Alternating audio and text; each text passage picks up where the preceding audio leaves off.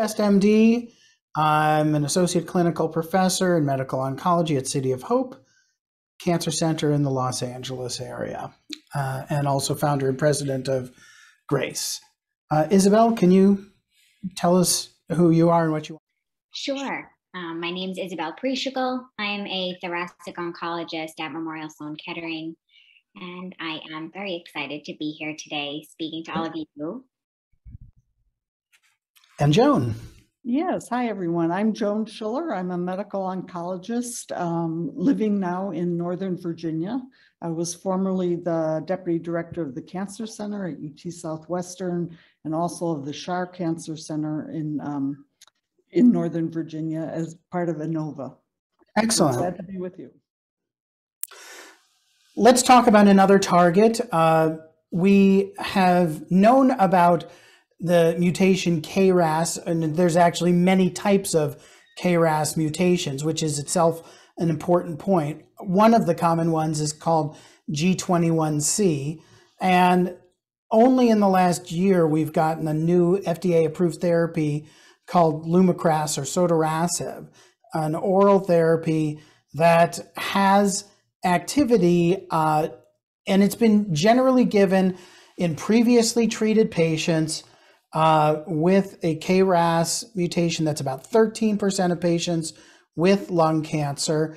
And it's been associated with a response rate of about 37%.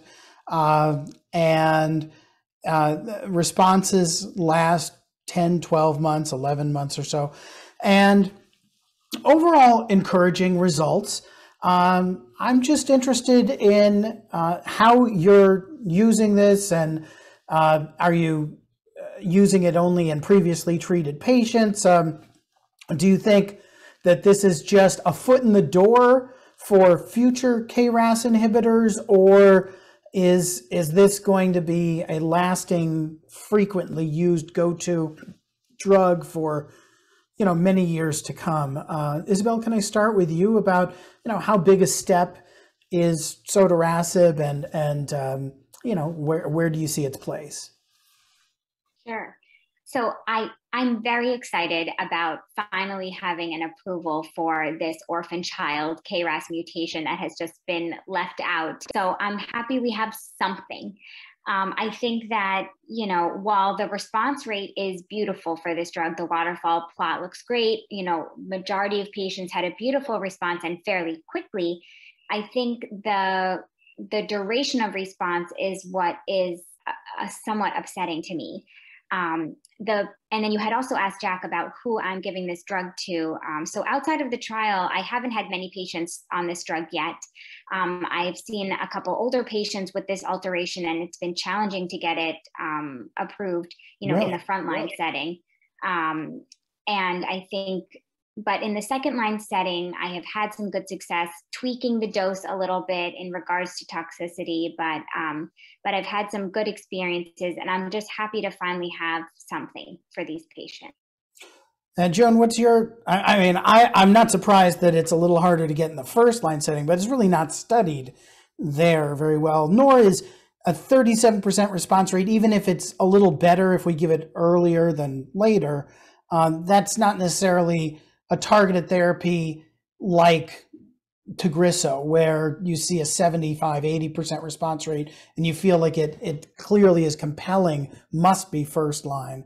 So, you know, what's what's your view of this? Is this uh, a placeholder until we get better ones, or or yeah, what? Hopefully, we will get better ones. But I think there was some data in the small proportion of patients who did not receive prior chemotherapy. Yeah, it was. It, and it looked relatively good. So the, these are the data for the the small number of patients, 13 patients yeah. who had gotten immunotherapy but no chemo. Uh, response rate's 69%. Yeah. And, yeah, and, a seven, and again, small number of patients, but a 17 month overall survival.